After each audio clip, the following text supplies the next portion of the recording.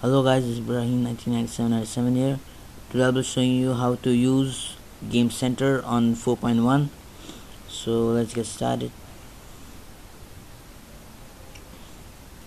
Uh, here's Game Center.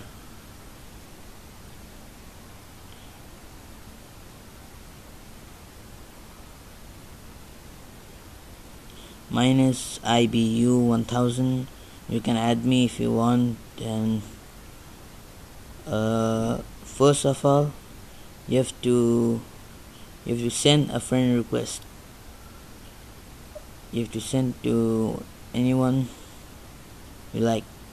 Then go to games. You have to download one game center game.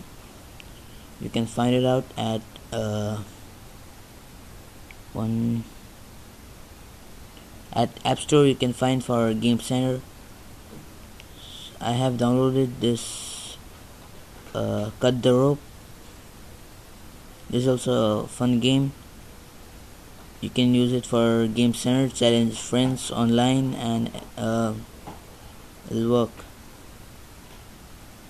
So once go to game open up the game.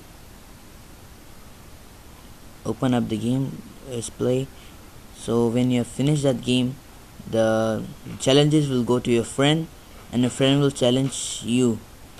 So you have to play like that. So thanks for watching and subscribe